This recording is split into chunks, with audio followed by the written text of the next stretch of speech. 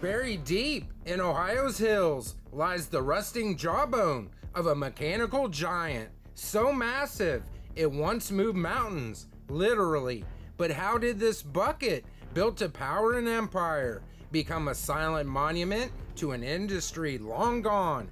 Stick with us as we uncover the rise of Big Muskie, the global legacy of Bucyrus and Erie, and how this land went from strip mines to safaris.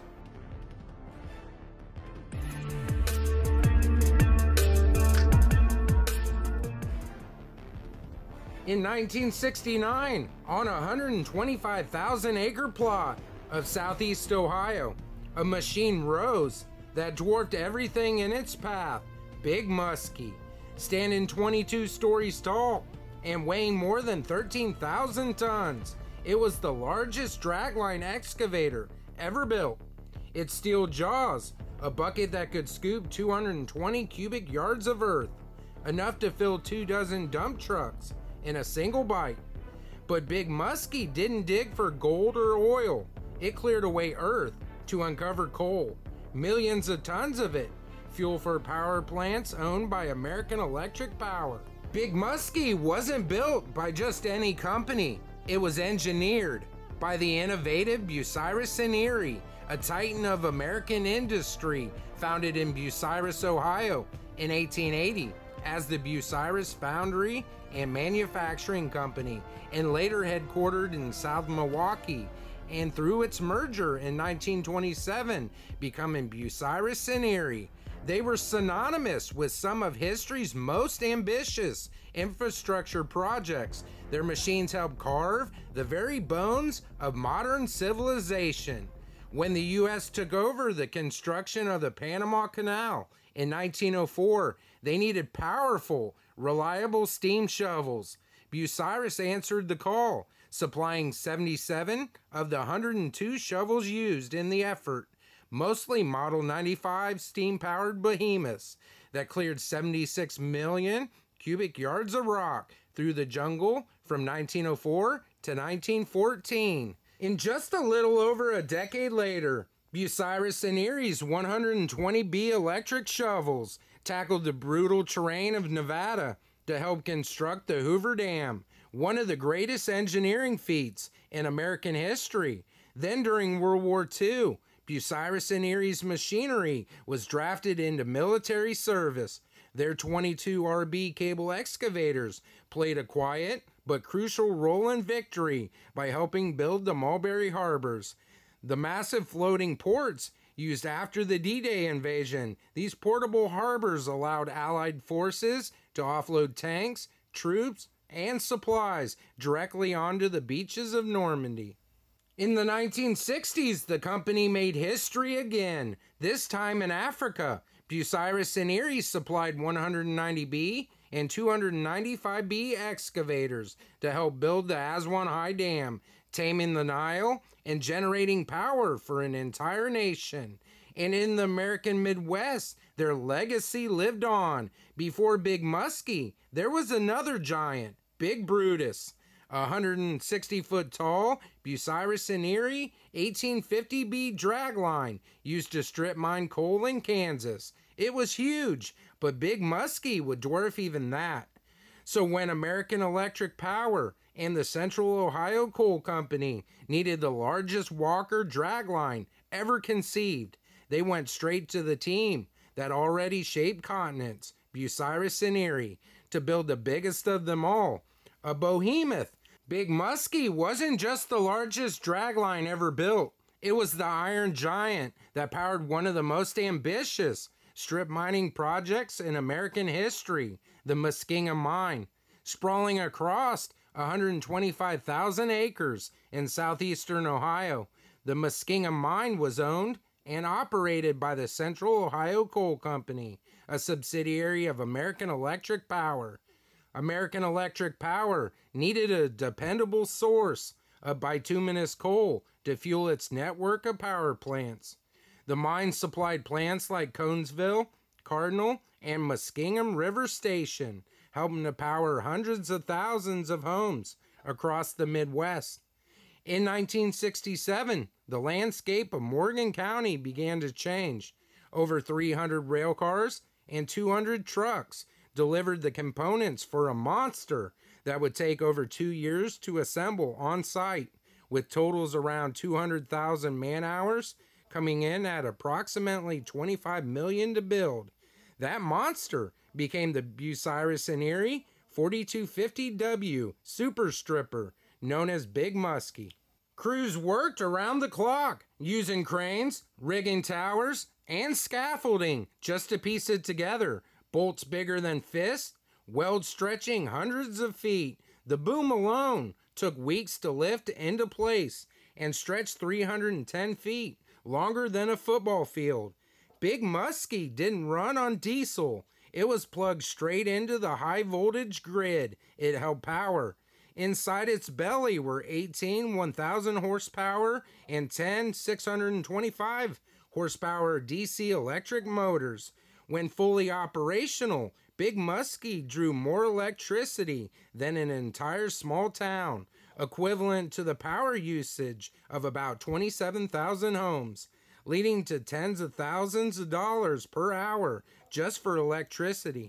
Each day, Big Muskie removed thousands of tons of overburden, earth, rock, and shale just to expose the coal seams below.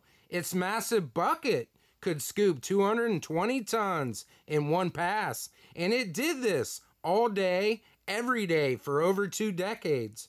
From 1969 to 1991, it moved over 600 million cubic yards of material. That's enough dirt to fill the Empire State Building 20 times over. But Big Muskie wasn't just a machine, it was a local legend. Hundreds of men and women worked around it, on it, and inside it. For many, it was more than a job, it was part of their family legacy. The mine helped sustain local towns with union jobs, steady paychecks, and investment in local schools and infrastructure for over 20 years. The Muskingum mine was the economic engine of Morgan County. But even Titans fall, and even the mightiest machines have their last scoop. Big Muskie's work may be done, but its shadow and its legacy still shape the land and the people who once worked beneath its boom. By the early 1990s, Big Muskie, once the mightiest earth mover on the planet, was slowing down. After more than two decades of service, energy markets were changing, cleaner burning fuels, environmental regulations, and rising operating costs were stacking up. In 1991, American Electric Power made the tough decision to shut down Big Muskie for good. For the people of Morgan County, it was more than just the end of a mining operation, it was the end of an era. Jobs disappeared, the mine fell silent, and a giant stood still. The massive dragline, still intact, stood idle on the stripped hills for nearly a decade. There were campaigns to save the machine, turn it into a museum, even listed on the National Register of Historic Places, but nothing could stop what came next. In 1999, AEP ordered the machine dismantled and scrapped, citing cost, liability, and environmental concerns. The Titan's scrap value was estimated around $700,000. But the story doesn't end here.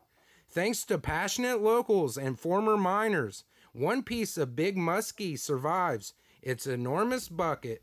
Weighing in at 220 tons, the bucket now sits as the centerpiece of Miners Memorial Park in McConnelsville, Ohio, a silent witness to the machine's legacy and the people who kept it running. When Big Muskie fell silent, what remained behind wasn't just a hollow machine, but a hollowed out landscape. Decades of strip mining had left scars across thousands of acres of southeastern Ohio. The rolling Appalachian hills were flattened, forests were gone, streams rerouted. What had once been rich farmland and wildlife habitat now looked like a lunar wasteland. But change was coming. In 1977, Congress passed the Surface Mining Control and Reclamation Act, which required coal companies to not only extract coal, but to clean up after themselves. It was one of the first environmental laws to hold mining companies legally accountable for the long term health of the land, water, and ecosystems they impacted. The law mandated companies, in this case AEP's Central Ohio Coal Company, to contour mine lands, plant vegetation, restore drainage, and sometimes create entirely new ecosystems. AEP began a massive reclamation project for Muskingum Mine. Earth movers reshaped the terrain into rolling hills. Native grasses and trees were replanted. Sediment ponds were added to protect water quality. Today, over 60,000 acres of former AEP mining land has been donated or transferred for public use thanks to partnerships with the Ohio Department of Natural Resources. This includes the creation of Jesse Owens State Park, named after the legendary Olympian born in Alabama but raised in Cleveland. It also includes the sprawling wildlife preserve known as the Wilds, one of North America's largest conservation centers for endangered species. Where once there were only drag lines and dirt, today there are giraffes, cheetahs, and safaris. When we opened this story, we gazed upon a giant bucket in a quiet park, just rusted steel and silence. But now we know what it truly represents. Big Muskie was more than the sum of its steel and cables. It was the beating heart of a coal empire, the product of generations of engineering and a symbol of American ambition in its rawest, most unapologetic form. And while the coal has been burned, the land has been reshaped, and the dragline itself dismantled. Its legacy hasn't faded. It's growing, evolving, and returning to nature. The bucket that once scooped valleys now holds memories, lessons, reminders of what was built, what was lost, and what still can be reclaimed. So the next time you're driving through southeastern Ohio, stop in McConnelsville, stand in the shadow of that enormous scoop, and listen carefully because if you're quiet enough, you might just hear it. The echo of iron and earth, the story of Big Muskie. If this story moved you, give us a like, hit that subscribe button, and share your memories or thoughts about Big Muskie in the comments below. We're uncovering forgotten places and hidden history across this great nation of ours. So join us on our next adventure. This is Off the Beaten Path, where history leaves deep footprints.